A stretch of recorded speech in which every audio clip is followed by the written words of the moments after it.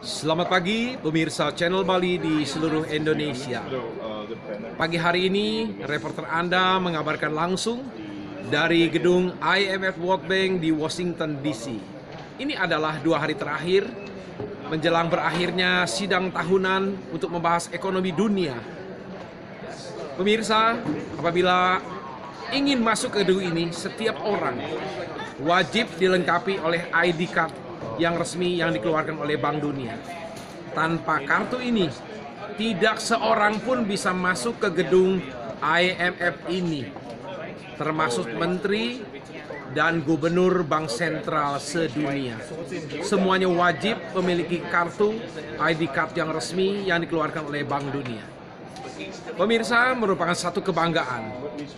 Media Channel Bali kembali dipercaya untuk menjadi media partner bagi IMF World Bank di Washington DC. Ini adalah kesempatan kedua kali yang diberikan kepada media channel Bali.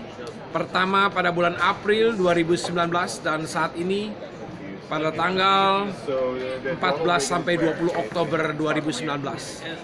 Channel Bali kembali menjadi mitra terpercaya bagi IMF World Bank di Washington DC. Sukses bagi Indonesia, jayalah negeriku tercinta.